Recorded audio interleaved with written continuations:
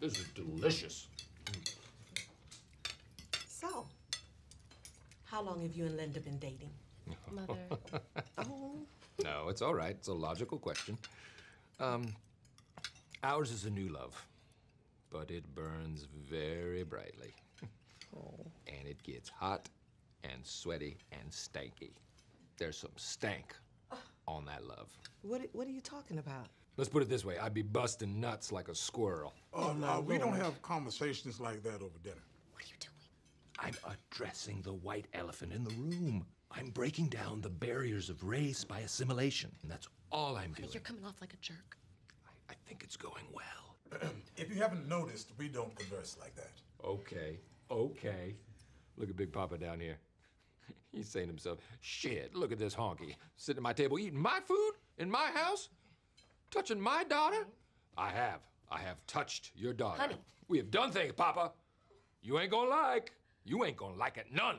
Oh, my goodness. I mean, I'm just a guy from from Terre Haute, Indiana, with a big old dick and a fat wallet and a, a spleef the size of a baby arm, just looking for someone who wants to smoke it. Let's get some smoke going in this place, right? This ain't no superfly. What is your problem, man? Linda, I don't understand what you are doing with him. Oh, you know what I'm coming at you with, you big black mother of Linda. Mix it up in a pot, making it spicy. Oh, my lord. Hey, In the back, cooking up chitlins, big old titties, big old titties. Excuse me?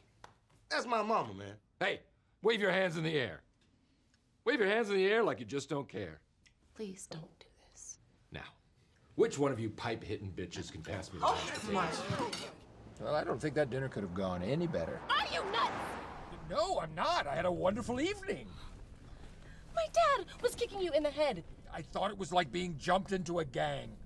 Only with dinner guests. You called my family pipe hitting bitches. I hate to pin it on you, but you did invite me to dinner. I'm sorry. I'm sorry. I, I'm sorry. I just, I'm just under a lot of stress because, because Allenby, he doesn't want you to do the story that you're doing for Sweeps. Death from Above. It's an excellent Right. story. Wonderful expose. Listen, Ron. Have you ever heard of synergy?